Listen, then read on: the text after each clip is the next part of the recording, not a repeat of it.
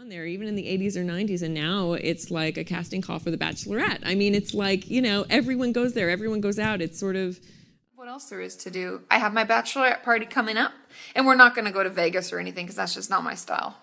It's kind of freaking me out even thinking. Obviously. Igor, I think that you should go on The Bachelorette.